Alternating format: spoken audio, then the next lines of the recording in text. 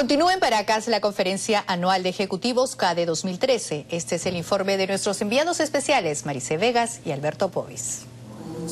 Por segundo día consecutivo, cientos de ejecutivos se reunieron en Paracas, en la CADE 2013. La jornada se inició con la conferencia sobre minería. El ministro de Energía y Minas, Jorge Merino, fue el expositor más esperado entre los empresarios del sector.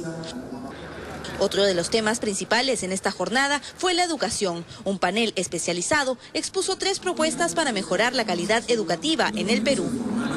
La idea es que se pueda capacitar a maestros, que se pueda ayudar en la gestión a los directores de colegio y que se ayude a toda la sociedad mediante un sistema informativo que permita que los estudiantes que terminan la secundaria sepan exactamente las consecuencias de su decisión de escoger una carrera y no otra.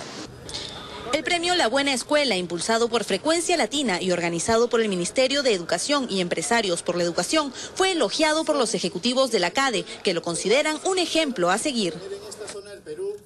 Es momento en que tomemos conciencia que hay una serie de iniciativas de innovación que suceden invisiblemente en los salones de clase y que no se les ofrece la plataforma por la tarde, los rubros agroexportación y turismo concitaron gran interés, pero antes de las conferencias, muchos disfrutaron de la velocidad de este simulador de Fórmula 1.